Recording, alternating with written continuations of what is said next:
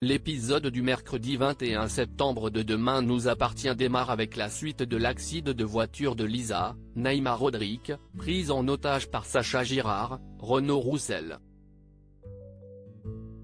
Après avoir foncé dans le barrage de police, sa voiture fait un tonneau et Martin, Franck Monsigny, arrive à l'en extraire pendant que Sacha sort de la voiture de l'autre côté. Il est rapidement arrêté puis transporté au commissariat, où Martin lui dit qu'un fourgon arrive pour l'emmener en prison. Quand Sacha provoque le commandant en disant qu'il aurait dû le tuer, Martin explique qu'il était hors de question qu'il lui fasse ce plaisir.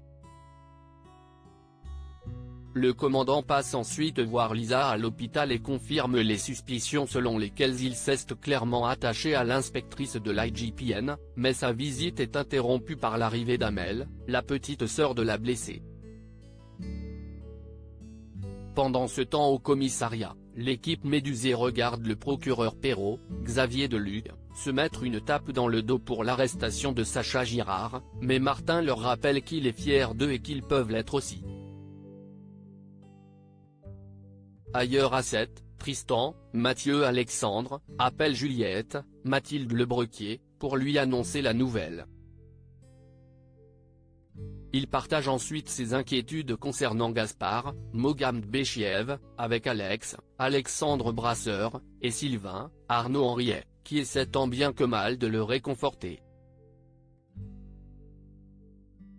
De son côté, Audrey, Charlotte Gaccio, et Léo, Paco Blanco, passe chercher Matisse, Léandre Castellano-Lemoine, chez Dan, Charles-Éric Petit, pour aller à l'école. Pendant que les parents discutent, les deux garçons trouvent une boîte en métal dans le garage, dans laquelle se trouve une arme. Ils sont à deux doigts de la prendre en main quand Dan les appelle pour partir. Le père de famille retourne ensuite voir Benjamin, Alexandre Varga, à l'hôpital pour s'excuser et repart apaisé après que le médecin lui a assuré qu'il ne comptait pas porter plainte.